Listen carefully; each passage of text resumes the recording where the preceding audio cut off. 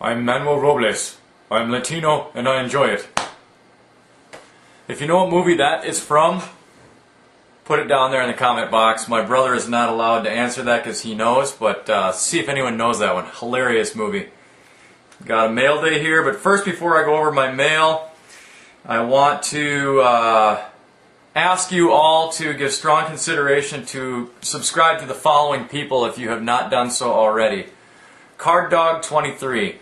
He is running a subscriber contest right now with two really solid prizes. Check out his link. Uh, I strongly suggest that you go ahead and subscribe to him. Great guy. I've only had limited dealings with him, but he's very responsible and respectful. Uh, the next one is Scoth2244. Scott, he has helped a lot of people in a very short time with their set building on here. Again, that link right down here. And uh, I'm going to throw another plug out there for Sictopher 2024. He's new to YouTube, but already got involved with some things, and I've been talking with him for quite a bit, and uh, I think he's going to be here to stay.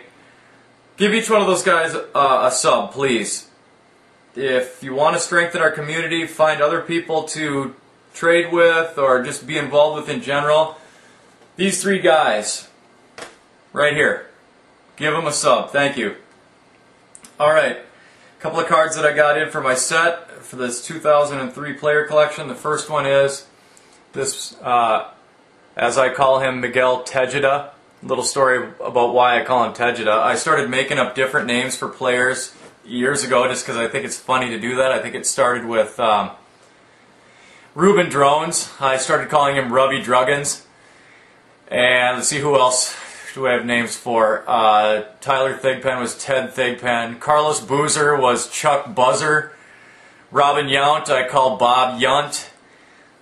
Uh, Albert Pujols, uh, of course, we call Al Pudgels. Uh, anyone whose name I can completely bastardize, I really enjoy doing that. It just makes it a little more fun, and uh, the kids think it's funny too, my nephews and my son and whatnot. So, and a really sick Jeremy Burnitz. Not the greatest player, but that's an incredible patch. If we could show it the how this thing's just busting off the top of that card. Unreal. And no, it's not fake because who in their right mind would make a fake Jeremy Burnitz patch?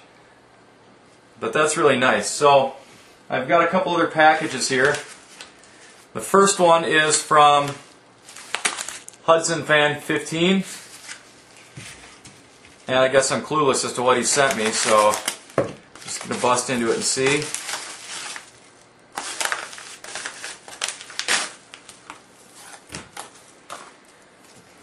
All right.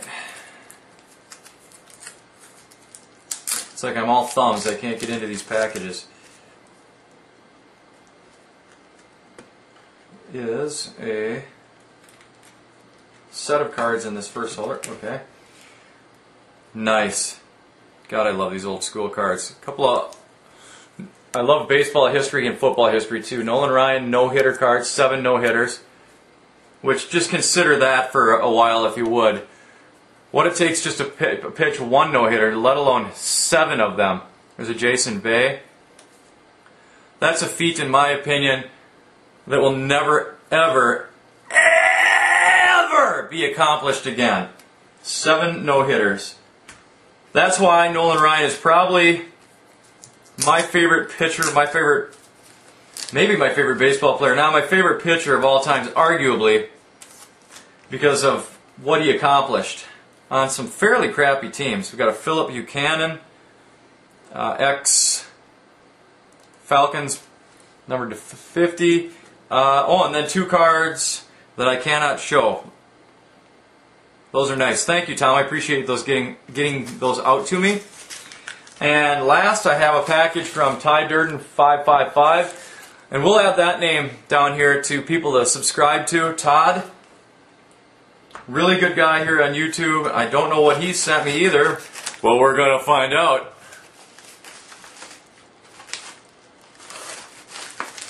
I've enjoyed getting to know him a little bit here over the past month. Really decent guy. Uh, thanks for everything. Your videos are what got me back into the hobby as well as into this great community. I only wish that I would have found them before I moved to the Twin Cities. Moved from the Twin Cities. Once again, thanks and keep the laughs coming.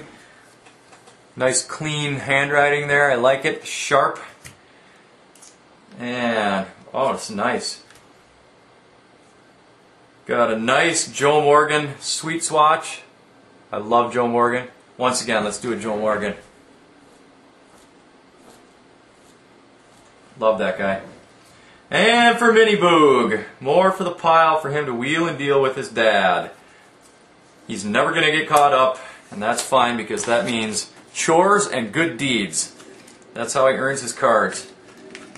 Got Brian Brohm, Sage Hit, Prestige, got some Brian Brohms for the Mini Boog, and a really sick, take this out so you can see it out of the package because it's going to have glare. We'll just take this right out. Three color, this is a scratch ball scratch. Three color ball, three color. Number to 25, Harry Douglas. Check that out. Check it out. Awesome. Thank you very much, Todd. I appreciate it, and I look forward to doing many more things with you here. I got 13 packages in today for the custom case break. Everything is purchased, coming along nicely. I'm excited to break this.